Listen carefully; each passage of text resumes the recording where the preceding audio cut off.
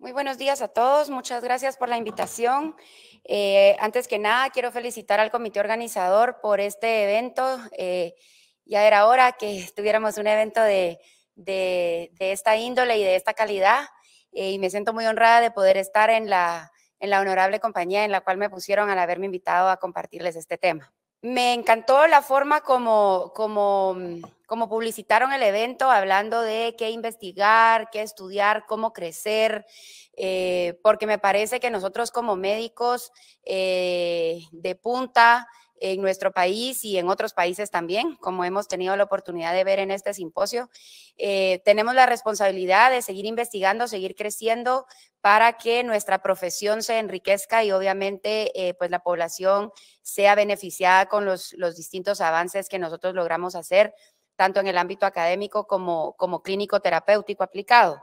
Eh, yo como gastroenteróloga, em, pues, pues me dedico básicamente a todo lo que es tubo digestivo y glándulas, eh, pero hablando de, innovación, pues yo siento que el tema páncreas, hígado se le da mucho auge recientemente en cuanto a crecimiento y, investigación, pero a mí el tubo digestivo me, me, gusta mucho, me interesa mucho y me da mucho trabajo porque la hemorragia digestiva alta, tal vez de la mano de la pancreatitis, es probablemente la emergencia más frecuente que nosotros vemos en gastroenterología y probablemente de la mano de la pancreatitis también es probablemente la mayor causa de mortalidad en emergencia de gastroenterología.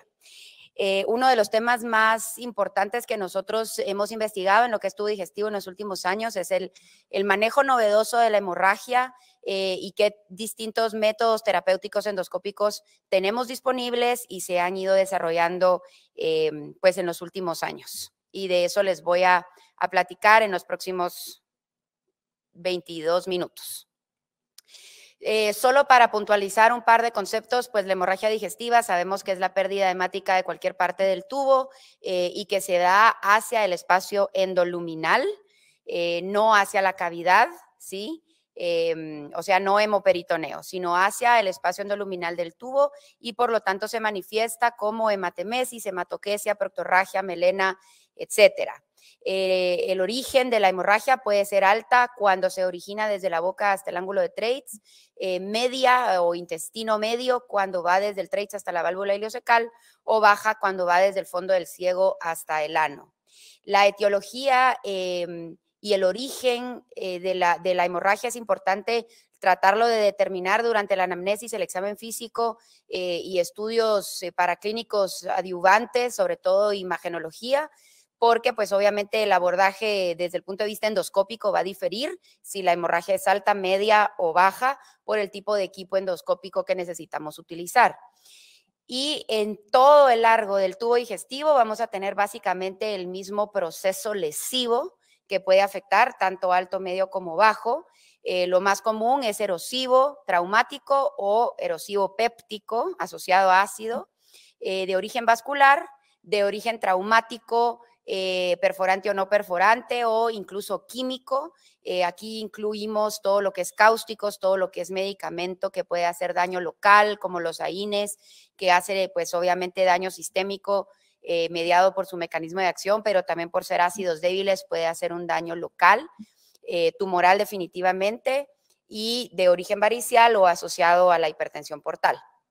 Y como les decía, todas estas etiologías se pueden dar a cualquier altura del tubo digestivo. Eh, les traigo aquí algunos ejemplos eh, visuales para que nos vayamos situando en más o menos eh, qué es lo que ustedes esperan encontrar en un estudio endoscópico. Por ejemplo, erosivo, pues ahí tienen ustedes un antrogástrico con múltiples erosiones prepilóricas circundando el, el, píloro ahí. ahí tenemos otro tipo de ejemplo de erosiones a nivel de duodeno y esto se puede asociar a enfermedad péptica. Ahí una se me pasó, no sé cómo se retrocede. Eh, ahí tenemos una úlcera grande, eh, muy profunda, con hemorragia en babeo.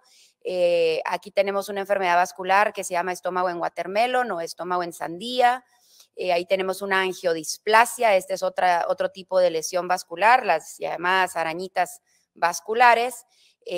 aquí tenemos otra, un desgarro de Mallory Weiss en hora más o menos 11 del reloj. Eh, aquí tenemos un tumor muy grande, eh, también sangrando y pues este es un ejemplo de varices. Entonces el manejo, como yo les decía, pues obviamente va a incluir todo lo que ya sabemos clínico de la estabilidad hemodinámica y la compensación de las comorbilidades que pueda traer nuestro paciente, el manejo farmacológico dependiendo de la etiología, sean inhibidores de bomba, análogos de la somatostatina, análogos de la vasopresina, esto va a depender de cada paciente, lavado gástrico cuando es necesario, no con fines terapéuticos como antes se hablaba, que lavar con agua helada, es, eso ya vimos que no funciona, pero el lavado para evitar hiperemia esplácnica, sacar toda esa sangre del tubo digestivo o para mejorar visualización, en realidad en países donde tenemos aprobados proquinéticos, en lugar de lavado podemos usar proquinéticos, en países donde no están aprobados, pues hay que recurrir al lavado. Y la endoscopía temprana, que está descrita en cualquier tipo de hemorragia del tubo, eh, que debe de ser no antes de las 12 horas y definitivamente no antes de las 6, porque eso conduce a errores en el manejo médico y en la estabilidad del paciente. Entonces, tomarnos 6 a 12 horas para estabilizar al paciente. Y a partir de ese momento entra la definición de endoscopía temprana, que no debemos de sobrepasar las 24 horas antes de llevar al paciente a endoscopía. Eh, y luego, pues la terapia o el seguimiento postendoscópico, dependiendo de la lesión que se encontró para evitar tasa de resangrado y obviamente, pues evitar mortalidad.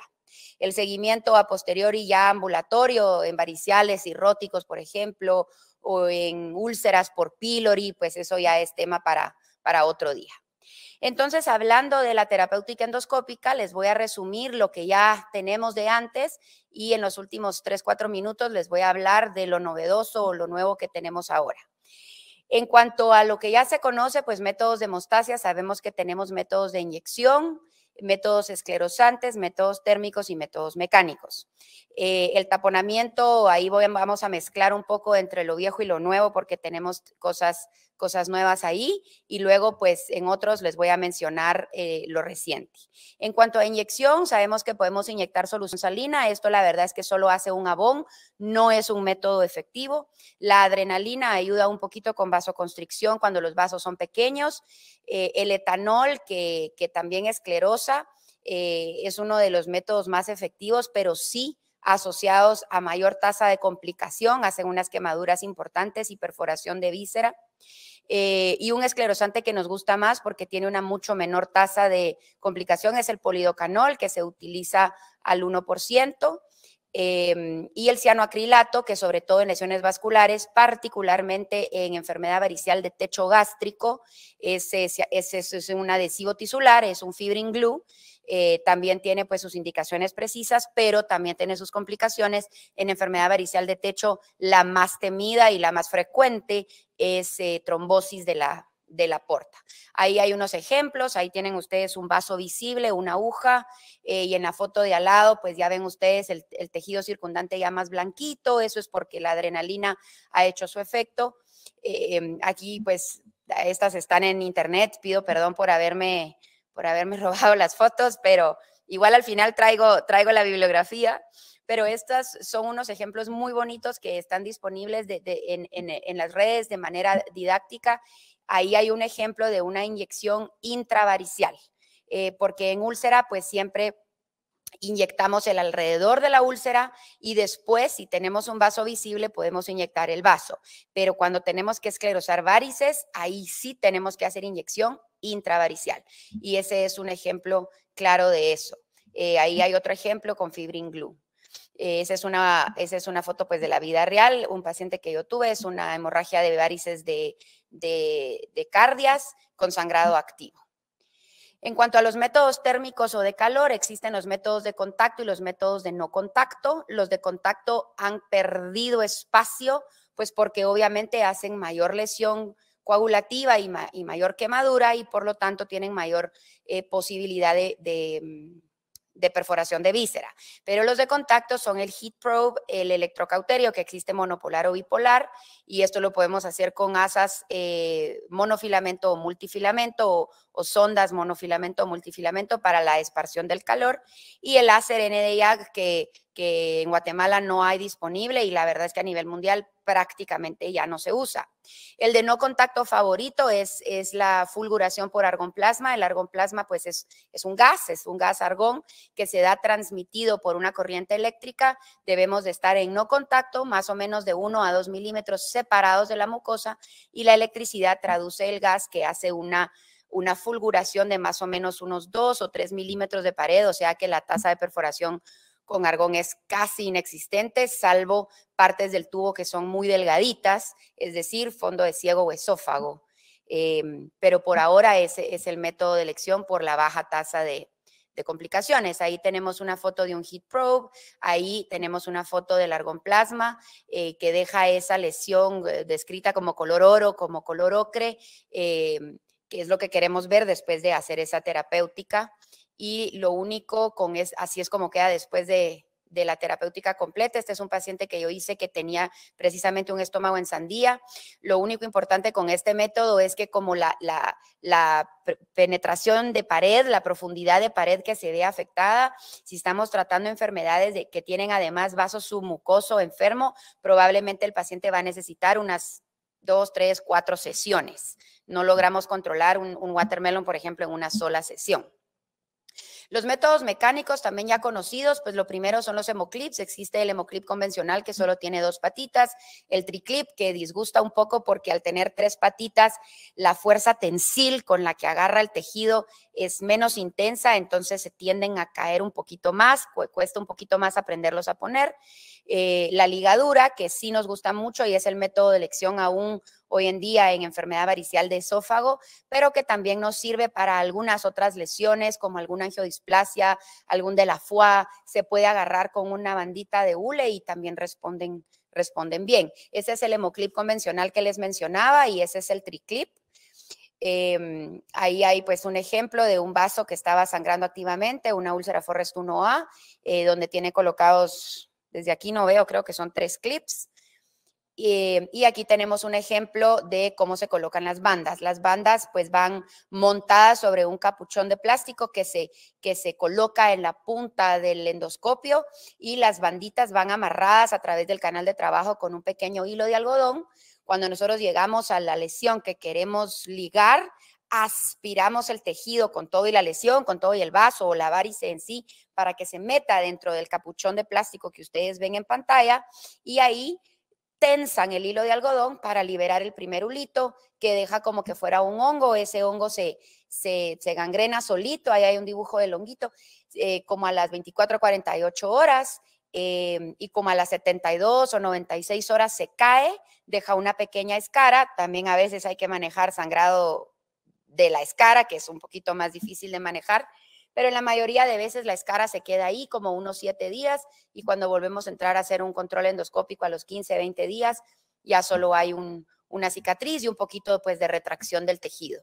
En cuanto al taponamiento, lo clásico que todos conocemos de hace muchísimos años son las sondas de taponamiento de doble balón, que hay distintos tipos. La más frecuente que yo utilicé en mi entrenamiento es la Sengstacken Blakemore, pero también está la Minnesota y todas que que en realidad tienen diferentes balones y diferentes canales de lavado. Ahorita les voy a demostrar un ejemplo, pero lo más reciente en taponamiento es el uso de prótesis. Las prótesis, pues, pues clásicamente se diseñaron para desobstruir eh, lesiones tumorales endoluminales eh, era, es considerada una medida paliativa en cáncer para que mi paciente con CA de esófago se muera comiendo, mi paciente con CA de colon se muera defecando normal, mi paciente con colangiocarcinoma se muera sin estar amarillito y con prurito. Pero eh, la tecnología ha, venido avanzando bastante, si, sobre todo si la prótesis tiene o no tiene recubrimiento de teflón interno, lo cual la hace removible entonces han encontrado ya eh, indicaciones en enfermedad benigna, porque si la prótesis se puede retirar, yo la puedo poner en una estenosis benigna, por ejemplo, y a las 4, 6, 8, 12 semanas retirarla. Eh, y ahora en eh, enfermedad varicial también se ha hablado del uso de prótesis expandibles, obviamente recubiertas para que sean eh, retirables a las 24, 48 o 72 horas. Eh, aquí les voy a poner también un ejemplo visual para que se hagan una idea de qué estoy hablando. Esta es la sonda de Sengstaken. Como ustedes verán, tiene pues en la punta el, el canal luminal que queda dentro del cuerpo gástrico, luego tienen infladito poquito, ese se infla muchísimo más con 250 cc de agua, el balón gástrico que luego se debe de traccionar para que quede comprimiendo el fondo gástrico y luego tienen ahí el balón esofágico que ese se infla con aire a presión, más o menos 70 milímetros de mercurio y luego pues tienen el resto de la sonda que transita el resto de la el, esófago superior y la, la, cavidad orofaringea, todo. Y al final tienen ustedes los tres lúmenes. Esta es una de Sengstaken que solo tiene un lumen de lavado. Eh, en las puntas tienen el, canal para inflar los dos balones y en medio tienen el lumen de lavado que, queda en, cavidad gástrica. Pero otras sondas tienen dos o tres lúmenes de lavado para lavar incluso esófago y lavar em, secreciones, saliva que puedan estar alojadas dentro del esófago. Y las prótesis, pues este es un ejemplo de ellas. Como ustedes verán, tiene un cuerpo que es un poquito, un par de milímetros más delgadito y luego las copas que son un poquito más anchas y eso nos sirve porque al quitar el introductor y la prótesis expanderse, esas copas anclan la prótesis para que la prótesis solita, si yo no jalo los hilos, la prótesis no se mueva.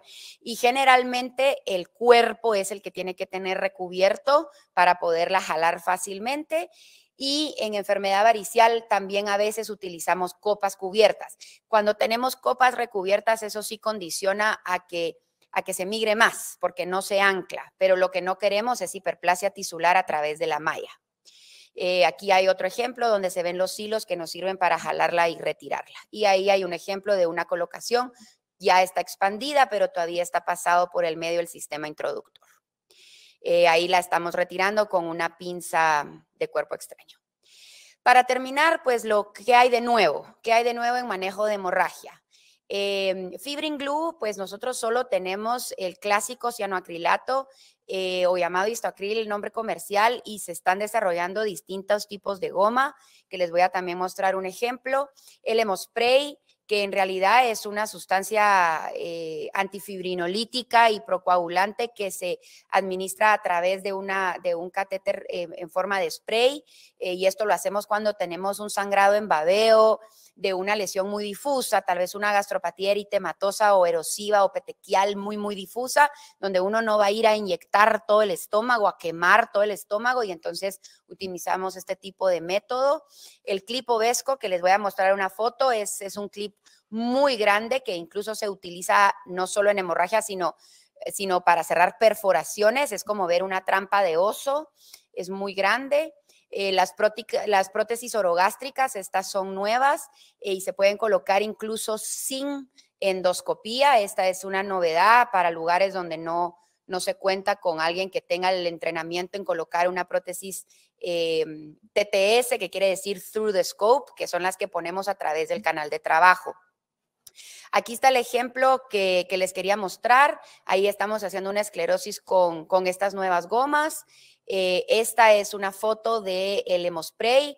Eh, como ustedes verán, eh, trae la pachita donde tiene colocado el medicamento y esto va pegado al, catéter que se pasa a través del canal de trabajo del endoscopio y pues la pistolita que cuando ya el catéter está colocado, pues pues básicamente solo pistoleamos como que fuera una, una pistolita de agua y, y, bañamos todo el estómago. Imagínense algo similar a, a lavar como con agua oxigenada y que ustedes miran cómo hace una hemostasia más difusa. Eh, aquí tenemos un ejemplo eh, de la aplicación de este spray. Em, aquí en la foto 1, pues es ese hemorragia en babeo que yo les decía, en realidad esta es una lesión tumoral. Y en la foto B, ustedes ven, después de colocado el spray, cómo queda cubriendo toda la superficie. Este es un ejemplo del el clip obesco, como les decía, es como ver una trampa de oso, se coloca con el endoscopio por afuera del endoscopio, similar a cómo se ponen las bandas. Y como les decía, en hemorragia no se usa mucho, se usa más para perforación, pero pues es algo novedoso que tenemos que empezar a conocer y que sí tenemos disponible en, prácticamente todos los lugares. Aquí hay un ejemplo de cómo se coloca. Em, así es como ya queda colocado. Em, bueno, como les prometí, ahí están las bibliografías. Para terminar, solo quiero repetir mi agradecimiento eh, con la invitación, em, felicitar a todos mis colegas, que me encantó verlos en el programa, todos cómo estamos regados por el mundo y todos sobresaliendo en nuestras áreas. Y quiero eh, pues agradecer a mi casa que me formó, que me alojó durante siete años y que me hizo la persona que yo es, a todos mis profesores y de los últimos años que he tenido la oportunidad de participar en el pregrado, incluso en el posgrado. Eh, también quiero agradecer a mis alumnos que son quienes me hacen mantenerme joven y actualizada. Eh, muchas gracias.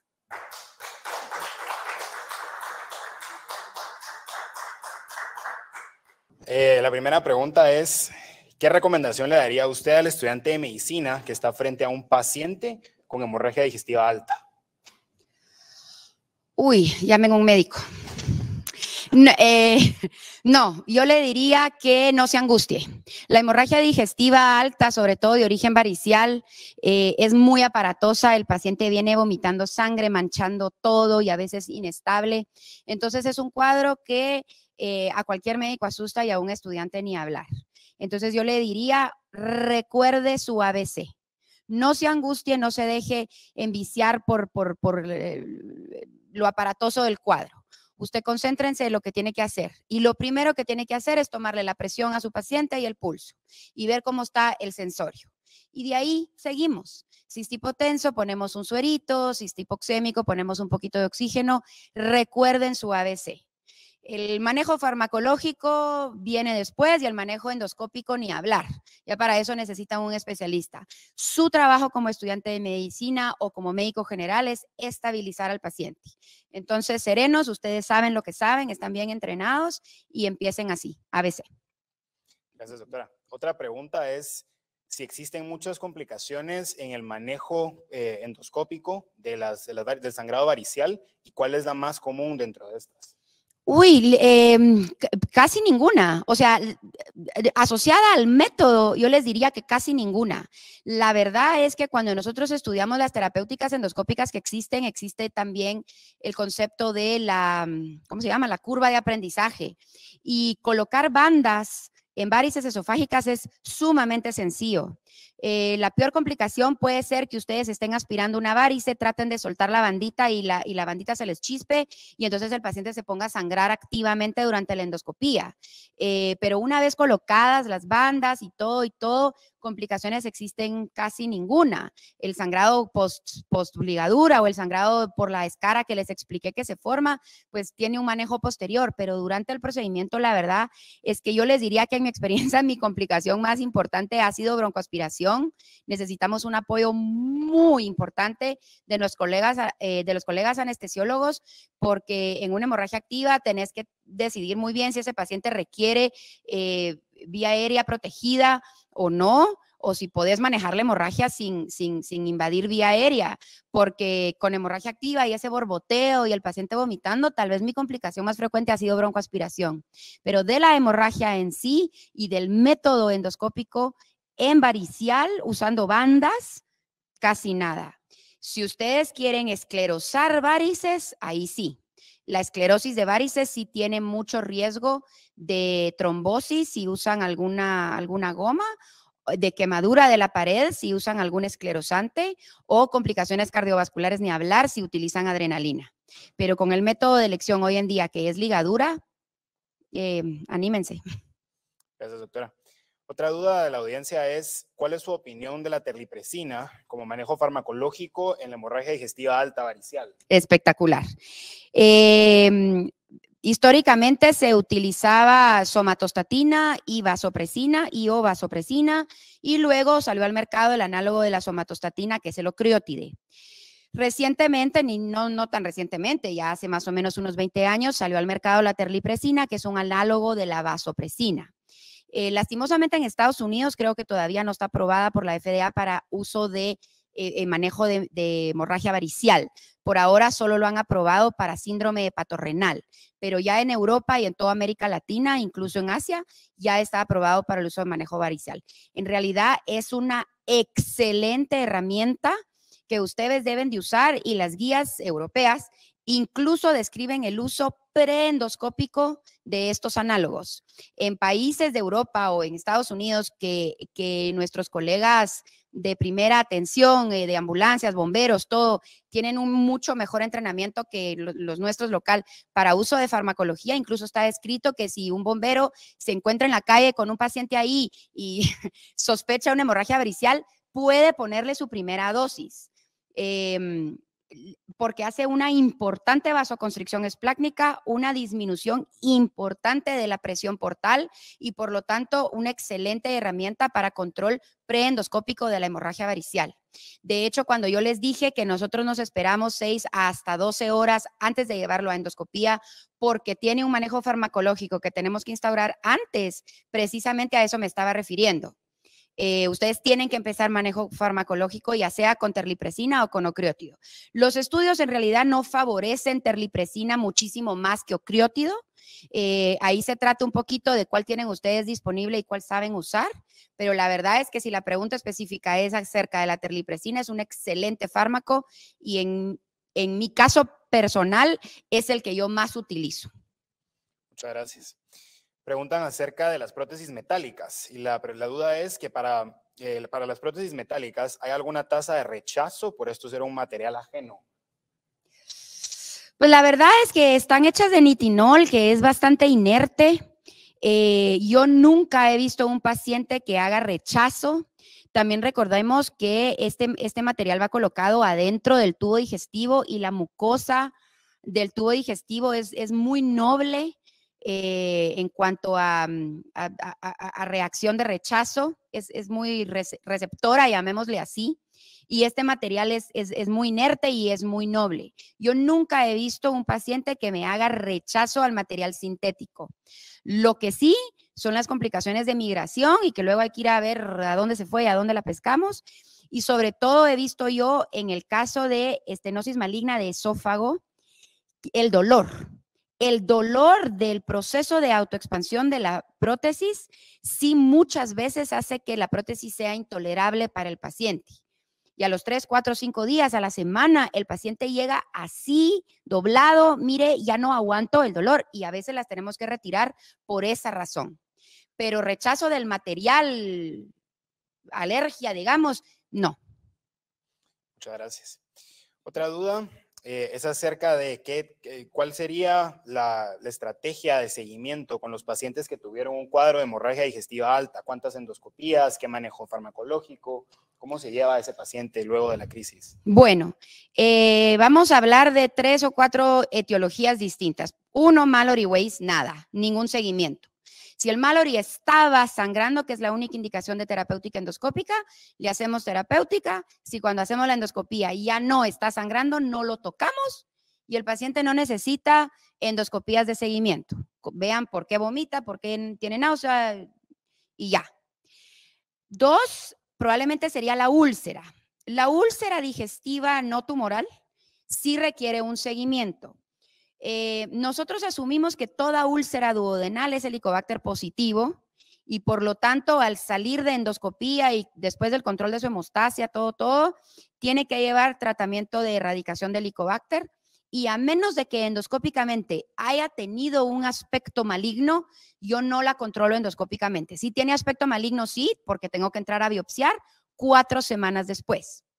Ahora bien, la úlcera gástrica eh, solo del 70 al 80% son pylori positivo y recuérdense que no biopsiamos en hemorragia aguda por riesgo de complicaciones asociados a la toma de la biopsia. Entonces, hacemos la terapéutica, hacemos la hemostasia, se va, se va con sus inhibidores de bomba.